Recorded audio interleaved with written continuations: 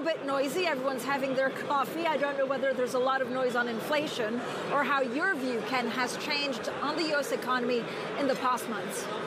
Well, it's pretty much stayed the same. I think we're we're still fighting inflation. It, it's interesting to me because everybody's focused on the Federal Reserve. I was just right. talking to somebody about the last time we had inflation, there was a big debate called Guns and Butter. I don't know how many people remember that, but the United States was in the Vietnam War.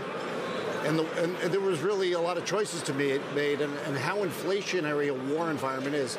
And I do think people are underestimating how inflationary it is to conduct policy at home and, and, and fund the war. And I do think that inflation is going to stay higher for longer. Mm-hmm.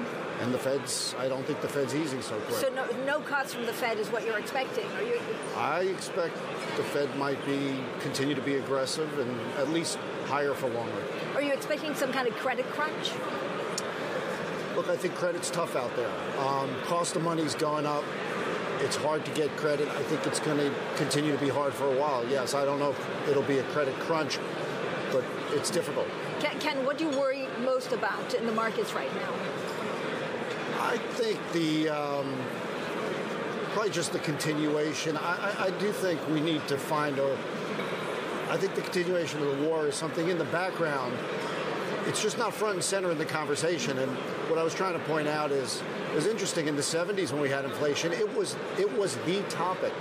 The interesting part to me is that no one's even discussing it as a fundamental driver of fiscal policy that results in inflation. And I think I think it's one of those things that needs to be, you know, it, it, it's going to continue to drive drive inflation. How much should we worry about the debt ceiling? Not, not as much as everybody here wants to. I think it's a great news item, and I think it's like watching any great negotiation. Again, maybe my background as an M&A banker. Look, no deal gets done until everybody walks away from the table at least once. And so we're doing that in a global environment with a lot of media. But I, I do think sooner or later the debt ceiling will be yesterday's news. Ken, when you look at some of the big pictures, it can be AI. Are, are your bankers using ChatGPT? How will that change the way that you invest? Right now, we're actually blocking ChatGPT just because you have to be careful about as you put information into the system, it actually becomes part of the system. So there's a lot that has to happen for us to get uh, use out of it. But obviously, ChatGPT and all AI is going to to change a lot of things. A, a, lot of things or everything? Is it too soon to say how much it will change and at what pace? Yeah, no, I think it'll be like all things in tech. I look back and I've been shocked every time at the at the curve. Um, and how quickly things get adopted and how much change happens. I suspect there'll be a significant amount of change from AI. Um, Ken, talk to me a little bit about SVB. So you've put in people, right, in, in your company from SVB. Are you expecting to do the same with Credit Suisse? I thought you were asking me about SUVs for a second. SUV, no, SVBs. SVB. it's so noisy. Look, we, you know, it's it's a wonderful just when things are difficult are the time when you have to make big moves in life. Yeah. And, and they, it's funny, the great opportunities don't come when you want them to. They come because something happened. So when SVB uh, had their issue, we moved that weekend. And we saw their tech team as a spectacular opportunity for us. And we hired about 12 managing directors out of the group. Now, the M&A environment isn't perfect, but I don't think that would have become available in a perfect environment. So we're building for the next five, ten years. But so is that a space that you will grow, basically what oh, SVB was doing? How big will it get? Well, it doubled the size of our tech footprint.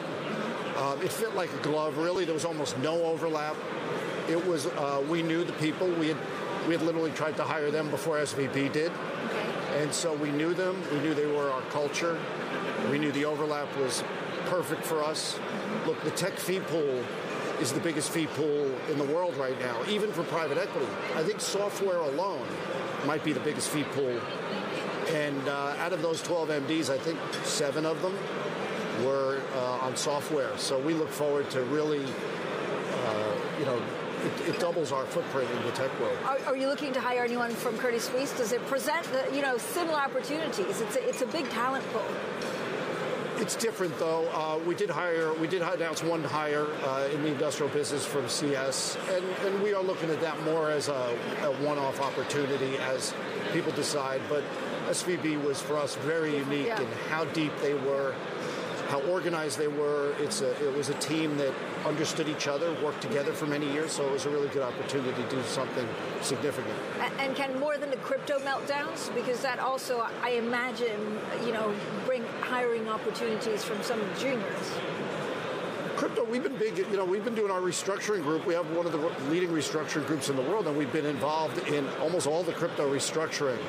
But I don't know how much more there really is to go on that. I, um, I you know, I think there was a big wave post FTX. Yeah. Um, you know, we have a group. We are dedicated to blockchain, and we cover it. But this, this tech team we took out of SVB was much more towards software um, and, and, you know, direct tech. Um, given everything that we've talked about here at the conference and we've just talked about, how do you think your firm will change in the next two years? What will you focus on? What part of the business do you think will grow significantly? You know, I believe this is, this is a big spring almost waiting to uncoil. The, the M&A market's been in a recession. Everybody asks me, is, uh, is the economy going to go into recession?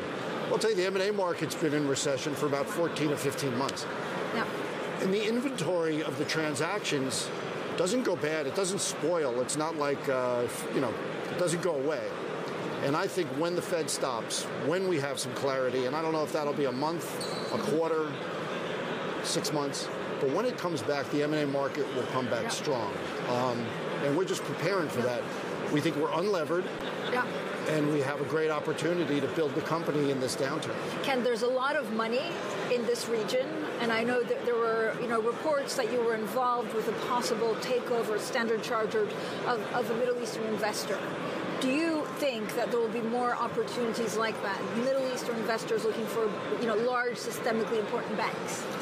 Well, I won't comment on any specific deal, but I will say when you come here, and I encourage everybody who hasn't been, it's optimistic, it's energetic, it's pro business.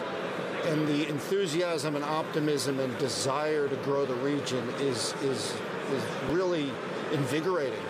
Um, and yes, I believe the region has a bright future and is almost on the opposite cycle of the West right now. They're, they're, they're looking forward.